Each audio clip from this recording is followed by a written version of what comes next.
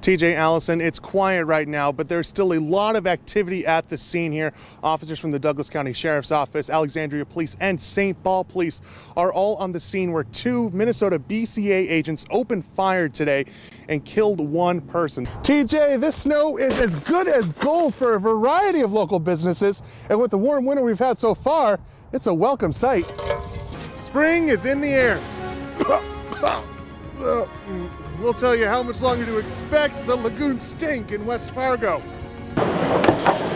Passengers say when they fly out of other airports, they have to arrive hours early to get through security lines in time. But here at Hector, officials say just 15 minutes is too long of a wait. What we do know is that around 7 p.m., a man walked into the Southeast Human Service Center building, flashed a handgun, and told employees to get out of the building. The building was evacuated. Officers showed up, and the man has been barricaded in a room in that building ever since. And the Moorhead City Council is currently in a closed executive session right now discussing a separation agreement between the city and city manager Michael Redlinger. Do we ever think the tickets would go like this? No. No, it was, it was very sweet. While Brooks admits that he was surprised by the amount of support here in Fargo, he says country fans are loyal, and he expects this weekend shows to be something special. The school has gotten by over the last few years by putting classrooms in closets behind stages and taking some high school classrooms and using them for the younger kids. But the superintendent says in a few years, that won't be an option anymore. Drekker Brewing did a study before they opened, which showed that the Metro could support at least 10 breweries. They expect that number is higher now, and the beer boom is spreading beyond Fargo Moorhead. Rhombus Guys Brewing opened last year in Grand Forks, and there's Union Pizza and Brewing in Fergus Falls. And TJ and Allison got a couple more of these saved for you after the show. Cheers. Adam Ladwig, KVRR News. Right now, he is leading Wayne Stenehjem by about 6,000 votes in this primary election. I am joined by Doug Burgum supporter Anders Johnson. Anders, thank you so much for joining us. What is it like here tonight for you? Even though Donald Trump's speech focused largely on energy, he also touched on other hot button issues. At one point, an audience member yelled out, Build a wall, in reference to his immigration policy. Trump's response to that drew arguably the largest cheer of the day. In Bismarck, Adam Ladwig, KVRR News. Tragedy can often bring the best out of a community. That's evident tonight with Fargo Moorhead pulling together for one of its own. Take a look.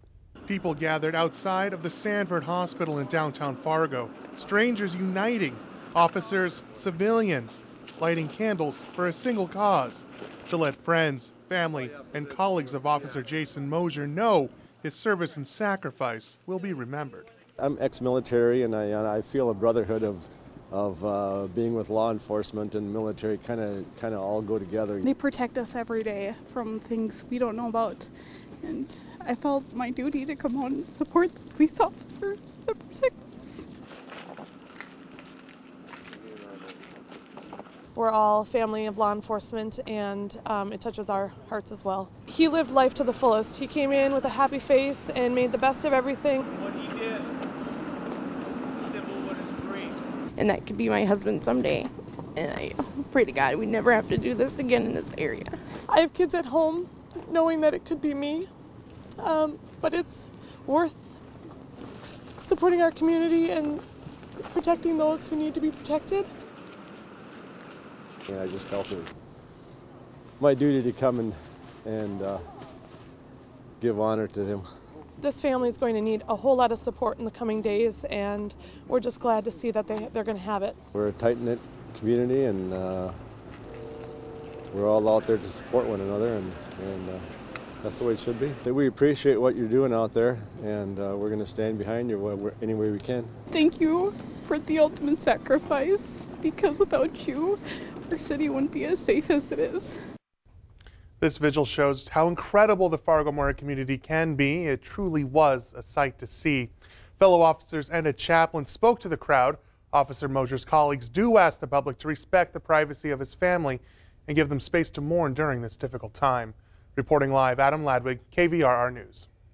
TJ Allison, these people out here today have completed a challenging journey through addiction, and now they're showing the community that recovery rocks.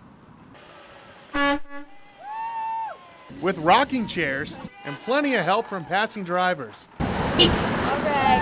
Okay. Today's been fabulous. I've been here since 7 o'clock this morning and we've, we've been rocking. And Members of Regroup are spreading the word. addiction isn't a life sentence. Hope is really what we're all about. We want people to know they can seek recovery, get into recovery, and it can last for a lifetime. What better way to spread hope than with a rocking chair party on a street corner? This is the second year for their rocking chair event. They feed our energy. We love their energy. They're peer advocates for addiction recovery. Each of these people's lives were once controlled by substances. I'm an alcoholic, chronic alcoholic, and I've tried for years to get sober. But now they're in recovery thanks in part to Regroup's programs. We can meet with people one on one. How's your recovery going today? They want to use their success to reach people still suffering And they can see that there are people who really want to give back. and get more people out here celebrating next year. What joy this is to see people grow in their recovery, grow in their in their um, their strength as people. Members of Regroup are still out here collecting donations and support. They'll be at the corner of 6th Street and Main Avenue in Moorhead until 7 p.m. Reporting in Moorhead, Adam Ladwig, KVRR Local News.